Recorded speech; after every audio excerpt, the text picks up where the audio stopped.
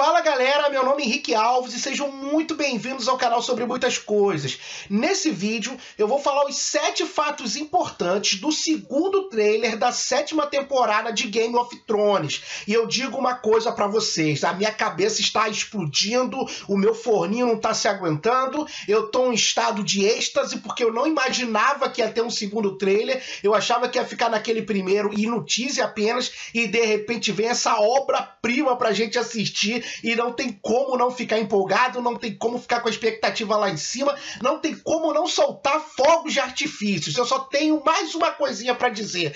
Sétima temporada, vem em mim sem medo e vem com força. E 16 de julho, pode vir logo que eu tô aqui te esperando, porque essa temporada vai ser épica demais.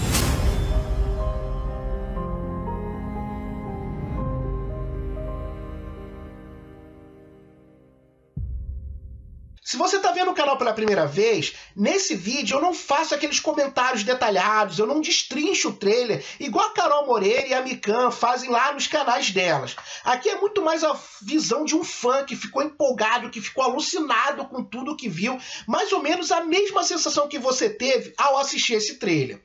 O primeiro fato importante do segundo trailer da sétima temporada de Game of Thrones é a divisão das batalhas, e isso me chamou muito a atenção. Primeiramente porque derruba derruba uma teoria que eu tinha por terra, que era que essa sétima temporada ia focar na batalha da Daenerys e a oitava ia focar na batalha contra os caminhantes brancos. Tipo, a Daenerys ia dominar Porto Real e ia se unir ao Jon Snow em algum momento para confrontar, né, para enfrentar os caminhantes brancos, que é uma ameaça grande para todo mundo. Inclusive, isso é falado né, no início do trailer, né, aquele discurso maravilhoso sobre união. Inclusive, eu quero fazer um pedido para vocês. Eu sou muito ruim com voz. No telefone eu só reconheço a voz da minha mãe da minha irmã. Quem é que está fazendo esse discurso porque eu não consegui identificar e eu tô aqui querendo saber. E por favor, respondam para mim. Eu quero que vocês quebrem esse galho para mim.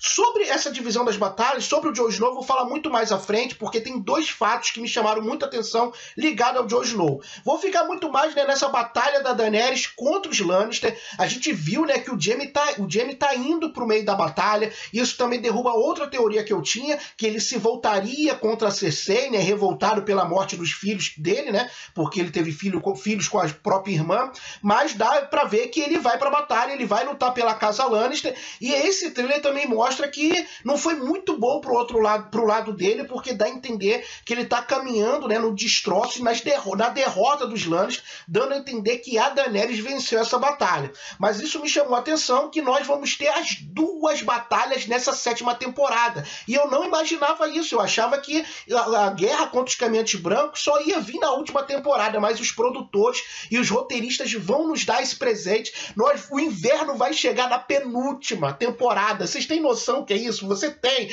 Eu não tenho, eu não tenho. Eu esperei seis temporadas para ver a, o inverno chegar. Me preparei para ver no, na última. O meu coração já estava preparadinho e de repente na sétima eu vou ter isso. E vamos ter essa batalha entre a Daenerys e os Lannister, que tem um grande exército. Também vai ser épico, vai ter os dragões. Nossa, isso foi muito maravilhoso e é por isso que é o primeiro fato que me chama a atenção dessas batalhas divididas. O segundo fato que me chamou muito a atenção e eu considero muito importante é a presença do Bran nesse trailer, né? Em dois momentos. Um é um que deixa com o meu coração me apertado, que é a chegada dele até a muralha, né? Dando a entender que ele vai ultrapassar a muralha. E existe uma teoria rolando e eu concordo um pouco com ela, que a entrada dele através da muralha é que vai quebrar a proteção que tem contra os caminhantes brancos, né? Porque ele foi tocado e ao ser tocado ele pode fazer os caminhantes brancos irem além da muralha. E gente, Será que a culpa é do Bran, sabe? Ele pode se unir com a família dele depois de tanto tempo, mas ele ser ocupado pelos caminhantes brancos ultrapassarem a muralha. Nossa, isso vai ser sensacional e isso me chamou muito atenção. Outra coisa já chamou também foi a cadeira de roda, né? Ele tá numa cadeira de roda que foram, foi montada ali para ele. Será que ele já encontrou com os irmãos e os irmãos ofereceram essa cadeira de roda para ele? Então, assim, a presença do Bran é muito interessante nesse trailer. Inclusive, eu tenho que fazer um comentário aqui porque eu vi uma, uma imagem é, no Instagram da Mikan e tinha uns comentários lá e teve um comentário de uma pessoa, não lembro qual, eu tinha que ter anotado sobre esse comentário, o nome de quem comentou, dizendo que o irmão do Bran, o Tony Stark, montou uma cadeira cheia de parafernálias para ele e ele tá pre, preparado para guerra para guerra, para batalha, né, para guerra civil, né, para guerra infinita, para guerra infinita. Eu achei isso sensacional, eu gostei muito, eu achei engraçado, eu tenho que comentar isso no meu vídeo, mas a presença do Bran para mim é muito interessante. O terceiro fato que eu considero muito importante é quando a Daenerys quer, tira, né, derruba aquele estandarte, dá a entender, né, que é a chegada onde ela tá, né, que ela tá é, é, é numa, num novo palácio, num novo castelo, que já foi é, é, é do, dos Targaryens, mas depois da queda do Rei Louco, se tornou um ponto crucial dos Baratheon, né? Então é muito provável que aquele estandarte que ela esteja derrubando é o estandarte dos Baratheon. E o que, que acontece? Será que ela vai colocar um dela? Será que ela vai usar o mesmo estandarte do pai dela? Ou ela vai criar um próprio, né? Tipo, da mãe dos dragões, de uma rainha, de uma soberana? Será que ela vai ter o próprio estandarte?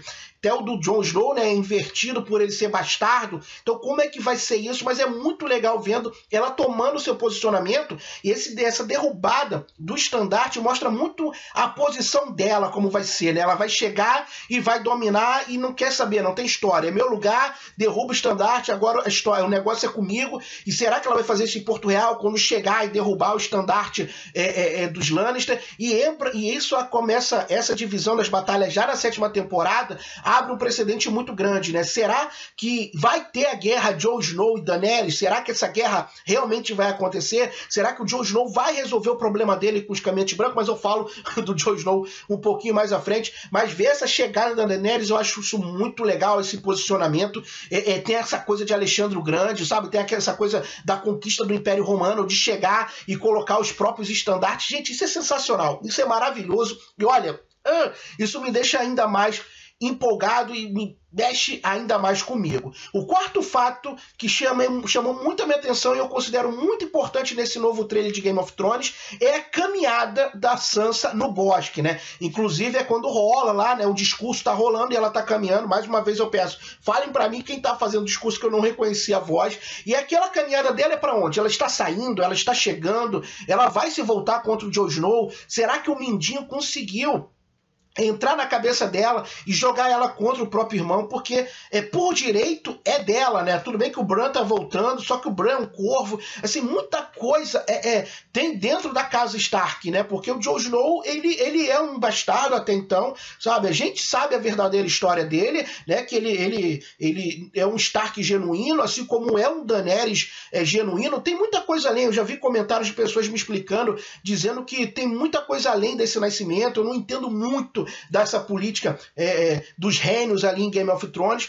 mas como vai ser a posição da Sansa, sabe? Porque assim, a Sansa ela evoluiu muito, né? É o personagem que eu mais amo dentro da série, é um dos personagens que eu mais amo de todos os tempos nas histórias da série, mas me remete, né, que na primeira temporada ela era uma garota animada, ela passou por muita coisa pesada, então assim, será que ela vai aceitar é, ficar somente do lado do Jon Snow? Será que ela, será que eu falei Jon Stark em algum momento, gente? E é Jon Stark também, né? Mas é por causa que lembra do Homem de Ferro. Mas será que ela vai aceitar isso de, de, de bom agrado? Será que o Mindinho entrou na mente dela? E essa caminhada eu não consegui identificar muito bem o semblante dela, se era de alegria, se era de snob. Isso me preocupou um pouco. Eu acho que o Mindinho ele vai acabar chegando na, entrando na cabeça dela. Isso me deixa preocupado. Tem a chegada da, da área, né? Jogada. Olha, muita coisa acontecendo ali no norte, ali com a família Stark. E aí eu tô empolgado demais com isso. O quinto fato importante que eu achei maravilhoso maravilhoso. Eu quero falar, eu vou falar esse fato só porque eu quero colocar essa imagem para vocês aí. É a espada flamejante. Essa espada, gente, isso. Cara, quando eu vi assim. Essa espada eu falei, nossa, a gente vai ter isso na sétima temporada. Tem muita coisa que rola por trás, tem a teoria do, do do Hazaraia, né? Eu acho que é isso, Hazaraia. Se não for, pode me corrigir, não tem problema nenhum. Comenta, não, Henrique, é a teoria tal. Mas eu acho que não tem, ver, não tem a ver com essa teoria do Hazaraia, né? Tem a ver com, com a luta de, de, dessa galera que luta com espadas flamejantes. Mas é que eu coloquei muito mais pelo fato visual, né? Porque foi deslumbrante ver, né? Essa, essa, essa espada flamejante. É por isso que tá entre os fatos importantes, porque realmente foi, né? Foi sensacional esse momento. O sexto fato importante do trailer, aí começa a falar do Jon Snow, né? É aquele momento que o Jon Snow parece estar tá encurralado no montinho, né? E tá tipo um monte de neve, e ele tá ali com alguns, algumas pessoas lutando com ele, inclusive a gente vê uma espada flamejante, né? E ele sendo encurralado em algum momento pelos caminhantes brancos, e isso me chamou muito a atenção. Por quê?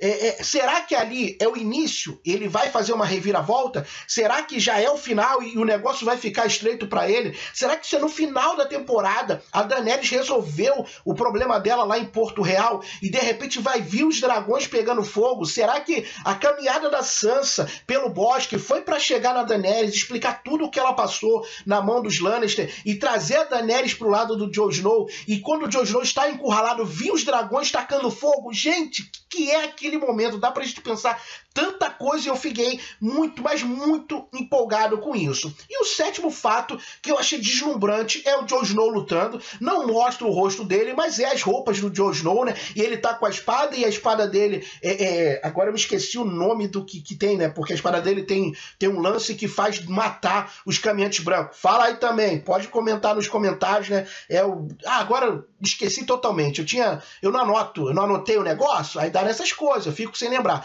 Mas é aquele momento dele da batalha e é o final do trailer. Nossa!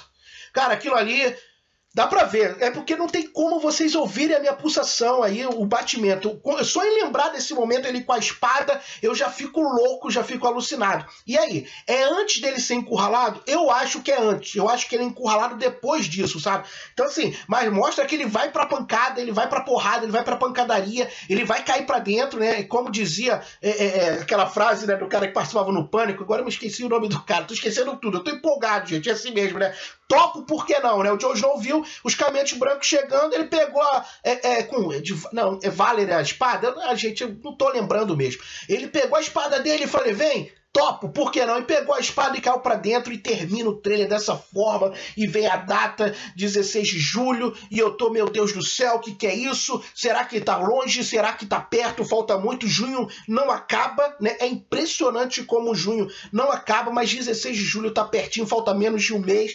E esse trailer mexeu demais comigo. E esse sétimo fato do Jon Snow dando a espadada final Ufa, deixa eu respirar, gente. Eu não sei se vocês estão da mesma forma aí do outro lado, mas eu tô numa empolgação ao ponto que eu nem tô lembrando mais o que eu falei aqui, porque o negócio foi alucinante, foi sensacional, foi maravilhoso.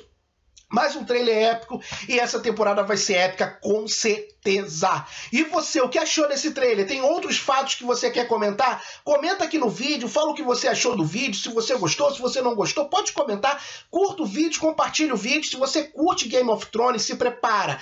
Todos os episódios vão ser comentários aqui no canal, comentários com com spoiler, pra gente comentar e falar o que achamos. Eu, é com essa empolgação, eu acabo de assistir o episódio, eu venho aqui e falo empolgadíssimo. Então, se você não é inscrito, se inscreva, toca no sininho para receber as notificações, porque ainda tem muita coisa sobre Game of Thrones chegando aqui no canal e eu tenho certeza que você vai gostar. Um grande abraço e até o próximo vídeo. Valeu, galera. Fui, eu estou alucinado. Que trailer maravilhoso. Um grande abraço, fui!